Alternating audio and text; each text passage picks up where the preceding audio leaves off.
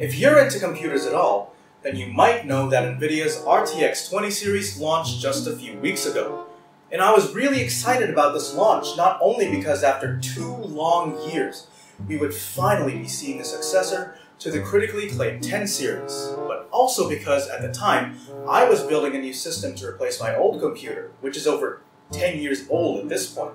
And my eyes were on the 2080 Ti, the cream of the crop of the new generation of graphics cards because I was thinking that it would launch at around $700, the MSRP of the previous generations of 80 Ti cards, the 1080 Ti, 980 Ti, and 780 Ti, which all follow this pattern. And I had no reason to think that the 20 series would be any different. Boy was I wrong.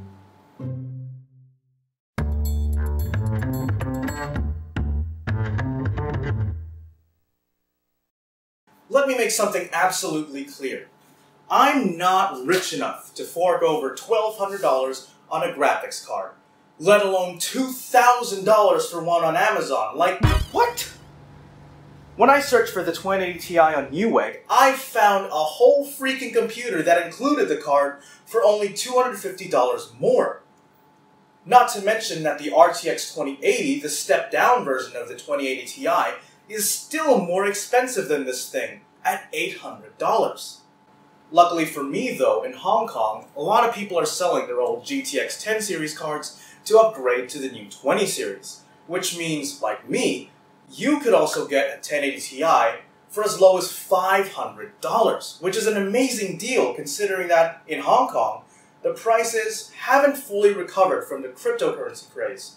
So this thing brand new will cost you $950. The deal is even sweeter when you consider that the GTX 1080 equivalent of my card, the Aorus Extreme Edition, is still more expensive at $700. So if you can get such amazing deals on secondhand GTX 10 series cards, why on earth would you spend up to 100% more money on 30% more performance? Well, why do people pay premium to gain access to new technology? Because they want to be first. They want to be the early adopters. For the 1% that can pay a premium, they will, just so they have access to the new technology, even if they don't have many opportunities to use it.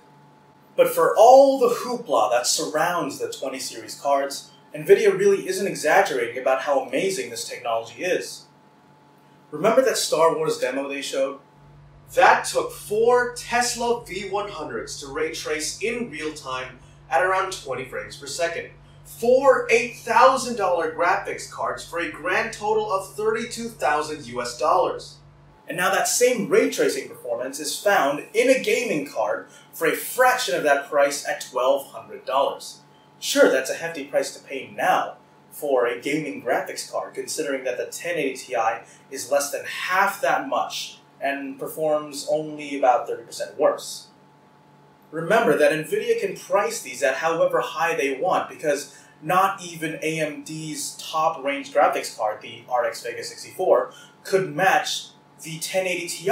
It's roughly the performance of a 1080. So give time for competition like AMD to come up with their own implementations of RTX. Remember what happened to Intel CPUs? AMD came along and suddenly, oh wow, we're moving from four cores to six cores because competition promotes technological development. But what if being an early adopter doesn't appeal to you? Why else would you buy one of these cards? Well, do you have one of those 4K 144Hz G-Sync HDR monitors that cost $2,000? Well, RTX 2080 Ti really is the only card that you can put in there to really enjoy all those frames it can't max out at 144 FPS. That's really demanding, but it will easily do 4K 100 FPS at high detail for most of the latest and greatest titles. But what about ray tracing and DLSS? Why didn't I factor that in when I was talking about value? Let's talk about ray tracing first. According to all the available demos, Shadow of the Tomb Raider was getting between 30 and 70 FPS at 1080p on a 2080 Ti and you're probably not buying a $1,200 graphics card to game at 1080p, let alone at 30 FPS, which is way too slow for fast-paced games like first-person shooters. I know that's just a demo, and the developers are still working out the kinks with a performance drop when ray tracing is enabled, but don't expect to play at 4K 60 FPS with high detail and ray tracing turned on once the full game comes out. Expect to drop the resolution or the detail settings to maintain a playable frame rate.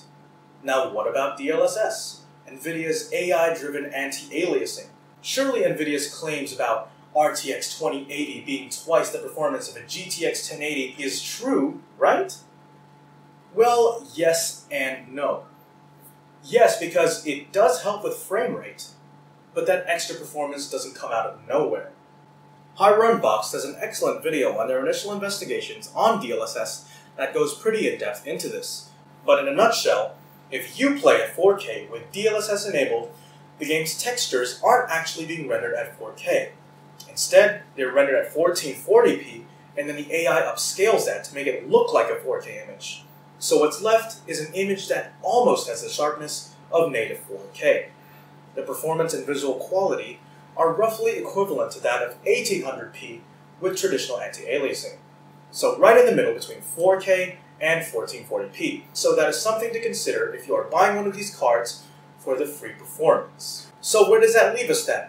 What's the better choice for you, the GTX 10 series or the RTX 20 series? If you care more about value for money than anything else, buy the 10 series. Brand new, it offers better value for money than the 20 series does, and secondhand, it's a no-brainer, as long as you're okay with putting up with the risks and hassles that come with buying from the secondhand market. But if being an early adopter or having those fancy shadows and lights are more important to you, that's okay. Enjoy the new technologies that RTX brings, and I thank you for contributing to the mainstream adoption of RTX. Thanks for watching guys. If you liked this video, please consider giving it a thumbs up and subscribing to my YouTube channel. Please make sure you also click the bell icon if you want to subscribe so you can be notified of any new uploads that I make. If you didn't like this video or you had any criticisms, please write to me either directly or down in the comments so I can continue improving my content for you guys. Thanks again.